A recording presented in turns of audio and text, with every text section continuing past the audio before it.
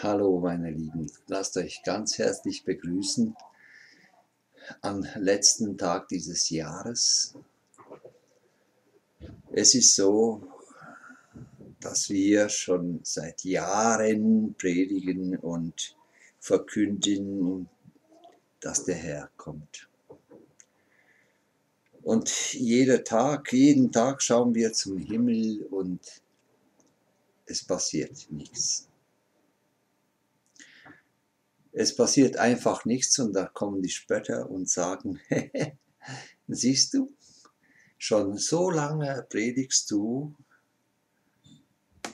dass der Herr kommt und es passiert überhaupt nichts.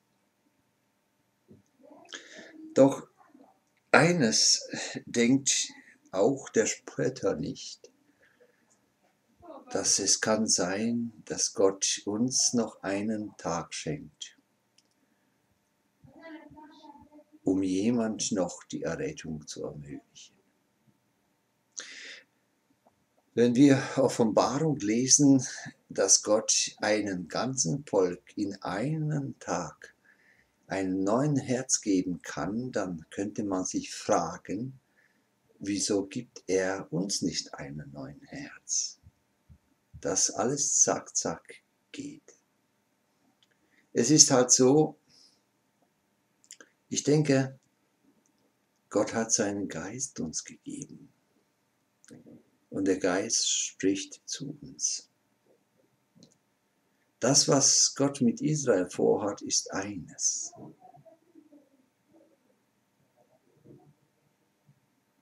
Und dass auch das Glauben ein Geschenk ist, ist was anderes. Aber grundsätzlich ist es so, dass es kann sein, dass ich noch einen Tag brauche, um wirklich dabei zu sein. Und auch die Spötter denken nicht dran. Die sehen nur, es ist noch nicht vollbracht. Du redest, du redest, du redest. Noah hat auch viel geredet.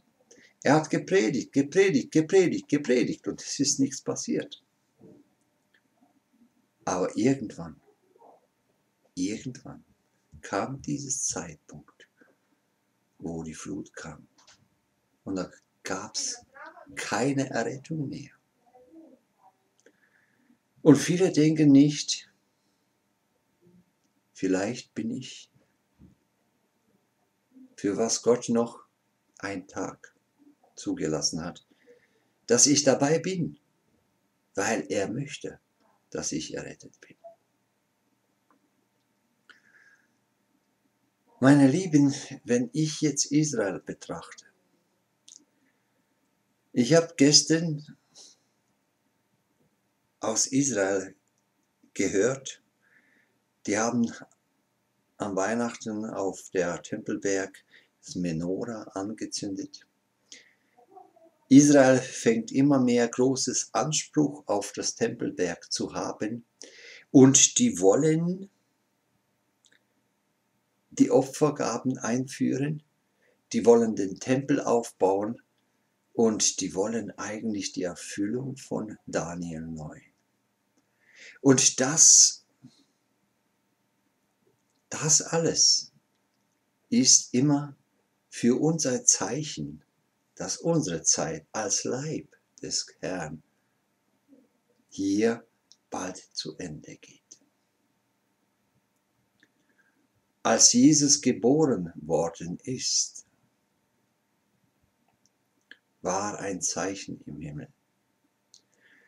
Aber nur drei Weisen. Und manche Übersetzer sagen Wahrsager. Komisch. Wahrsager. Die Heiden waren, die haben das erkannt und sind gekommen, ihn anzubeten. Aber es waren nur drei. Meine Leute, es sind die wenigsten, die wirklich betrachten die Zeichen der Zeit. Wir klagen wegen der Impfung, wegen äh, das und jenes, äh, wegen das, was hier abläuft.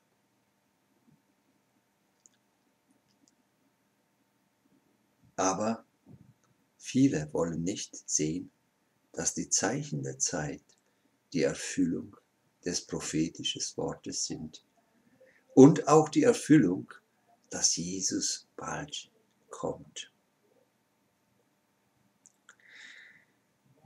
Ich möchte heute das Losungswort von heute lesen. Und zwar, es ist auf Psalm 6, Vers 10. Der Herr hört mein Flehen, mein Gebet nimmt der Herr an. Und aus Johannes 16, 24 bittet, so werdet ihr empfangen, auf dass eure Freude vollkommen sei. Wenn Gott mein Herr ist, wenn Jesus Christus der Haupt ist, wenn ich ein Glied in seinem Leib bin, dann muss ich es wissen. Nicht glauben, sondern wissen. Denn Wissen ist mehr als Glauben.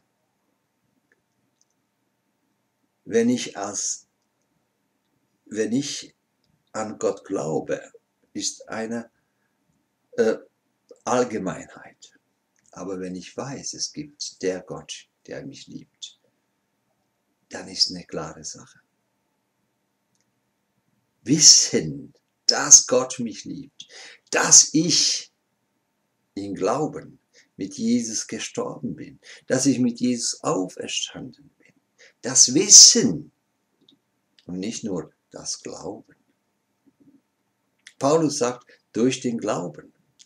Aber er meint, dieses Glauben, das Art des Wissens, der äh, ich bin überzeugt davon. Glauben kann auch zweifelhaft sein. Ist es richtig oder ist es nicht richtig? Aber Wissen, wenn ich was weiß, wenn ich weiß, dass mein Becher jetzt runtergefallen ist und zerbrochen ist, das kann mir niemand wegnehmen. Und wenn ich weiß, dass Gott mein Schöpfer ist. Dein Gott, dass Gott mein Retter ist. Wenn ich weiß es, ist dann mehr als, es geht über den Glauben hinaus. Ich weiß, dass er mich entrücken wird. Es ist nicht nur ein Glauben, es könnte sein, sondern ich weiß es, ich bin überzeugt davon. Und diese Überzeugung kann mir niemand wegnehmen. Auch nicht die viele Spötter mit Daumen runter, mit Kommentare. Oh, wo ist denn dein Gott? Wo ist die Erfüllung der, dieser Prophezeiung? Es kommt doch gar nicht. Das wird doch gar nicht. Ich weiß es aber. Und dieses Wissen, dass ich mit Christus gestorben dass ich mit Christus auch lebe, kann mir niemand wegnehmen, auch wenn ich falle. Dann stehe ich auf, denn der Herr hält meine Hand. Der Herr hört mein Flehen. Wenn David sagt, der Herr hört mein Flehen, dann weiß er das. Und er glaubt es nicht nur, sondern er ist überzeugt davon. Und so können wir auch überzeugt sein, wenn wir beten, Herr, komme bald, dass dieses Gebet nicht irgendwie im Universum verschwindet, nicht irgendwo in der Mülleimer landet, sondern es landet in den Ohren meines Gottes, der mich über alles liebt, dessen Sohn ich bin in Christus Jesus. Er hört mir zu. Mein Gebet nimmt der Herr an. Das ist eine Aussage, der einer Tatsache entspricht. Ich weiß es. Ich bin der feste Überzeugung, dass mein Gebet wird von meinem Gott erhört. Er nimmt es an. Er schmeißt es nicht weg. Er ignoriert es nicht. Er schmeißt es nicht irgendwo in den Mulleimer und sagt, oh, der kleine Laszlo, der, der, der schon wieder. Ja, nein, Gott gibt Wert auf meinen Gebet. Auch wenn ich, wie in Römer 8 geschrieben ist, wir wissen nicht, wie wir beten sollen. Und da ertappe ich mich oft, Herr, ich weiß nicht, was ich verlangen soll. Ich weiß nicht, was ich beten soll. Ich weiß nicht, wie ich beten soll. Herr, helf mir. Helf mir. Ich weiß es nicht. Und Jesus sagt, bittet, so werdet ihr empfangen. Es ist eine klare Aussage. Glaubt dran. Macht es euch gewiss. Denn, wenn ihr bittet, werdet es auch empfangen.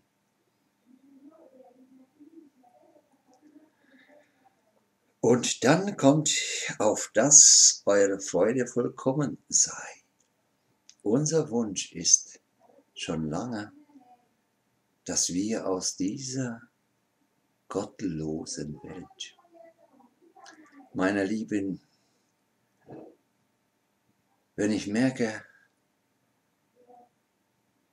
dass in der Welt alles, was geschieht, entweder auf Geld ausgerichtet ist, reich zu werden, wenn ich meinen vier Vermieter sehe, ihm ist egal, der hat immer Ausreden für alles, dass die Heizung vier Wochen nicht geht, ist dem egal. Er hat immer eine Ausrede. Und er bestimmt über dich, er will bestimmen über dich, aber denkt nicht, dass Gott wird über ihn bestimmen. Und was bringt mir vor Gericht zu gehen? Was bringt mir, mit ihm zu streiten? Ich leide lieber diese Kälte, aber eins weiß ich, dass Gott wird ihm zu Leide werden. Denn mein Recht ist in Gottes Hand. Und wenn ich sehe, dass zum Beispiel der Jobcenter im Sozialbereich alles streicht, und dir gerade ein Minimum gibt, dann sage ich, Herr, du weißt es. Und du wirst mich auch leiten. Egal wie schwer das ist. Und ich bin dankbar für die Geschwister, die dazu gehört haben. Denn das war ein Gebet in Gottes Ohr dass er Geschwister dafür gegeben hat, doch eine Unterstützung zu machen. Aber was bringt mir, mich mit denen zu streiten? Denn die haben immer recht. Die haben, egal wie du machst, die haben immer recht. Aber nur auf der menschlichen Ebene. Und Gott, Gott wird schon richten. Und es wird bald sein. Und wisst ihr, meine Freude soll vollkommen sein. Und meine Freude ist vollkommen, wenn ich mit meinem Herrn im Himmel vereint bin. Dann ist es meine Freude vollkommen. Und das ist mein Gebet. Herr, hol mich nach Hause. In Epheser sagt Paulus deutlich, unsere Heimat ist oben beim Vater beim Vater, der Gott, der ewig ist. Bei ihm ist unsere Heimat, da ist unser Herr und Heiland, unser Retter, Gott unser Retter. Und deswegen ist mein Gebet erhört. Und ich weiß, auch wenn es vielleicht noch einen Morgen gibt, das hat einen Grund. Und natürlich, wir predigen vor Jahren her. Es kommt. Und es ist noch nicht gekommen. Aber es hat einen Grund. Und diesen Grund, vor dem beuge ich mich. Denn es ist der Wille des Vaters. Um vielleicht dich oder mich noch dazu zu bringen, errettet zu werden, gereinigt zu werden, durch den Feuer noch zu bringen, um dass du dabei bist. Und das ist eine große Gnade, was wir oft in unserer Ungeduld nicht verstehen wollen oder können. Es ist eine Gnade. Meine Lieben, es ist so, dass die Zeit, die kommt, es wird eine Zeit der Verführung sein. Und diese Verführung wird gewaltig sein, genau weil es aus Zeichen und Wunder besteht. Nachdem Gott Adam geschaffen hat, sehen wir, dass jeder Mensch einen Glauben gesucht hat. An irgendwas muss er sich festhalten. Ein Mensch ohne einen Glauben ist kein Mensch. Der eine glaubt an sich, er ist selbst Gott. Es ist auch eine Religion. Es ist auch eine Glaubenslinie. Die anderen machen sich Statuen, der eine Baal, der andere äh, Buddha, der andere Shicha, äh, jeder irgendwo in seiner Art. Die eine der Maria, die andere ein Engel, der eine Gabriel, der andere Michael, der andere weiß nicht wem. Und jeder sucht sich einen Gott, an dem er sich festhalten äh, soll. Der Mensch ist immer abhängig von einer Glaubensgrundlage. Und genau da ist der Punkt, weil der Antichrist, der Teufel, weiß genau, dass der Mensch ein Glauben braucht. Und meine Lieben, die große Verführung ist nicht nur für die Christenheit. Da täuschen wir uns. Sondern die große Verführung ist für die ganze Welt, was der Antichrist in einer Glaubenslinie bringen möchte, und zwar an ihn zu glauben.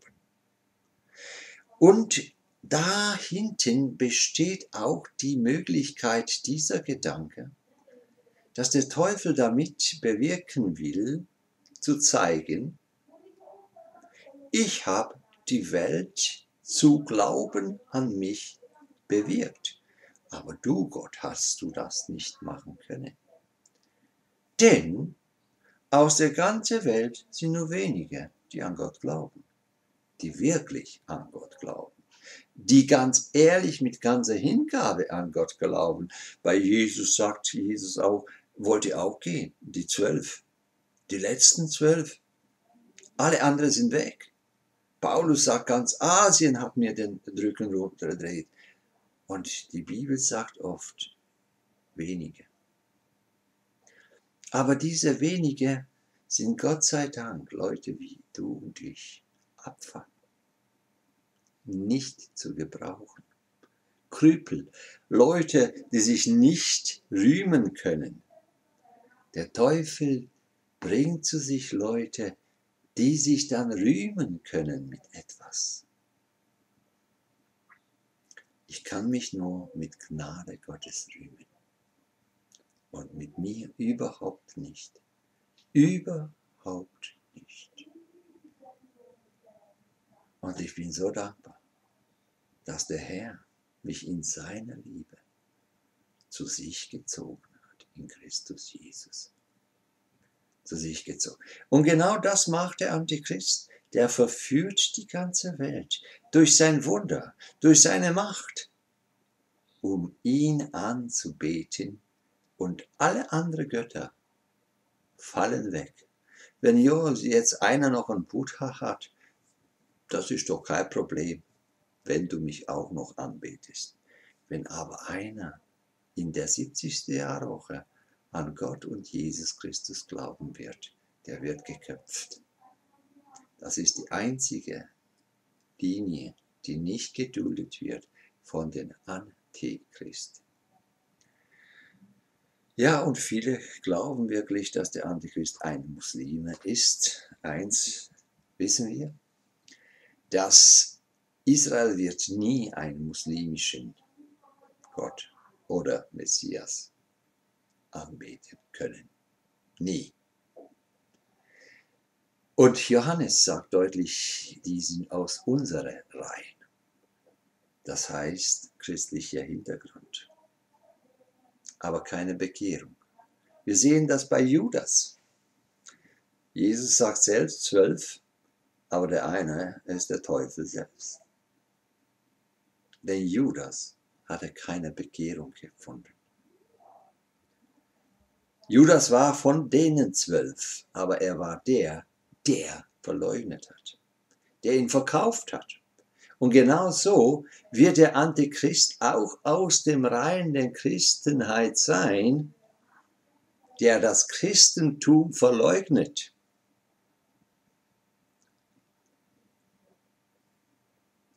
Trump ist ein Christ? Hm, weiß ich nicht. Aber ob Trump wirklich bestehen wird, weiß ich auch nicht. Mal sehen, was Januar, 6. Januar bringt, wenn wir da noch da sind.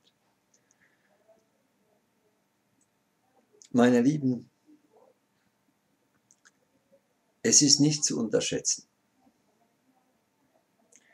Wenn so man den Papst mal anhört, glaubt man, wow, er spricht über Jesus Christus, er spricht über Liebe.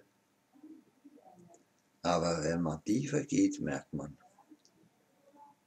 dass er ein falsches Christus predigt, eine falsche Liebe, eine falsche Linie.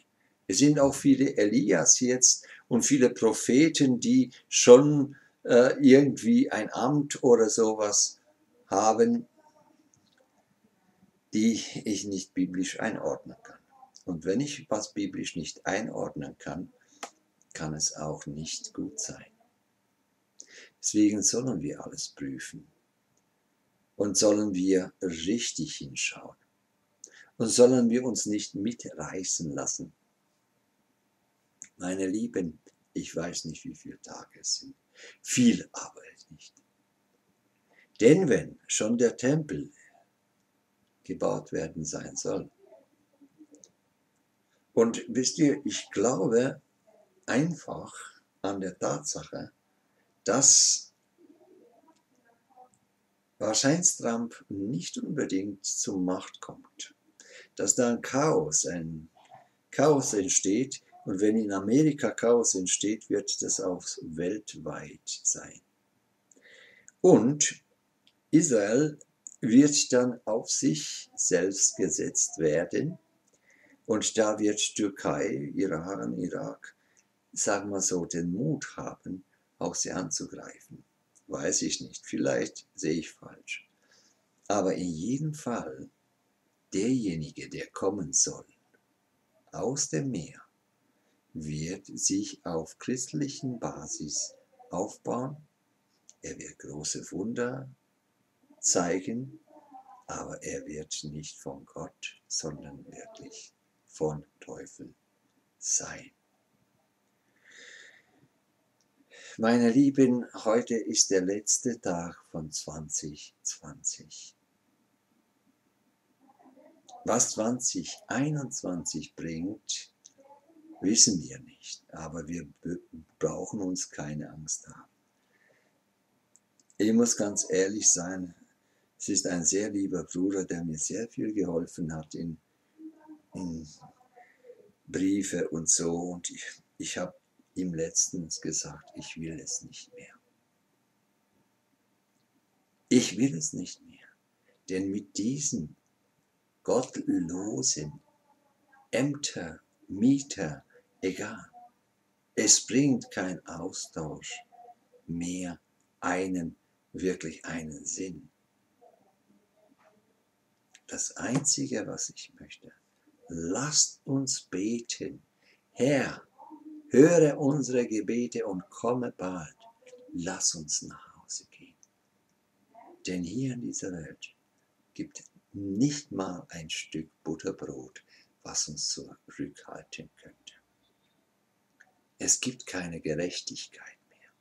Es gibt keine Wahrheit mehr, außer die Wahrheit, was wir noch in unserem Herzen tragen. Der Geist Gottes, Jesus Christus, Gott der Vater. Meine Lieben, lasst die Spötter lachen, denn ihr Lachen wird bald ausgehen. Lasst die Leute Daumen runter zeigen, denn ihr Daumen wird gebrochen. Jesus Christus lebt. Er hört uns zu. Und genauso merkt ihr diesen Psalm. Der Herr hört mein Flehen. Eine Gewissheit. Etwas, was mir niemand wegnehmen kann. Niemand kann es mir wegnehmen, dass der Herr mein Gebet, mein Flehen, egal wie falsch, wie verkehrt, egal wie rumdrum ist, er hört es. Auch wenn ich voll im Schlamm bin und ich weiß, ich habe noch ein paar Sekunden und ich gehe runter, auch dann weiß ich, mein Herr hört mein Gebet. Und wisst ihr, wenn ich Josua sehe bei den Zacharia, er ist mit schmutzigen Kleidern vor dem Herrn gewesen. Und der Teufel verklagt ihn und der Herr sagt, gibt ihm neue Kleider, frische, saubere Kleider. Denn wir gehören ihm allein und niemand kann uns was anhaben. Jesus Christus, unser Haupt, indem wir Glieder sind in seinen Leib, der wird uns nie enttäuschen. Auch wenn wir ihn oft enttäuscht haben. Gott vergebe uns. Meine Lieben, Kopf hoch, seid alle herzlich umarmt und reich gesegnet im Namen unseres Herrn Jesus Christus. Jesus